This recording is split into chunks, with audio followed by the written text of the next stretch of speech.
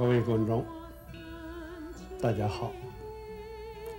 我今天要和各位讲的是我对社会人生的看法，有四点意见。第一，在生存上，我们要自由。人活在世界上，为的要生存。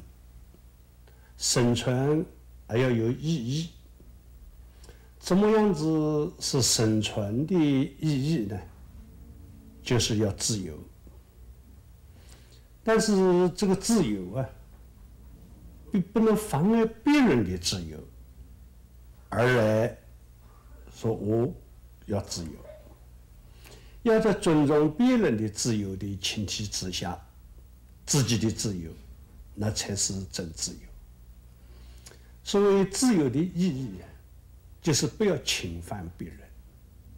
别人的生命，我们不要侵犯；别人的财富，我们不要侵犯；别人的身体、名誉，我们都不要侵犯。第二点，在政治上，我们要民主。所谓民主啊，不是说。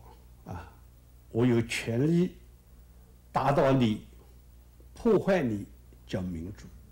所谓民主者，是要尊重别人，是要和别人能可以沟通，是大家呀要包容，那才是民主。所以今天，啊，这个从事政治的人，彼此或者对民间，都应该知道这个民主的。意义呀，要能可以尊重社会大众，那才是真正的民主。第三，在处事上啊，我们要和平，做人处事和平第一。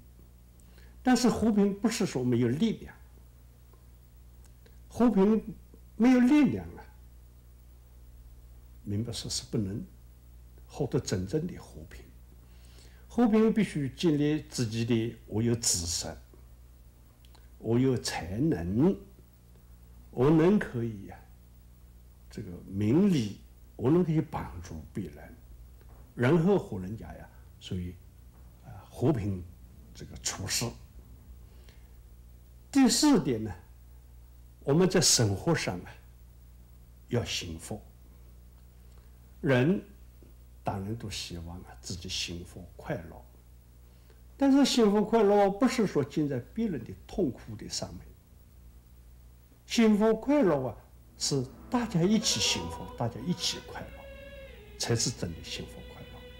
所以我对社会人生的看法啊，第一在生存上我们要自由，第二在政治上我们要民主，第三在处事上我们要和平。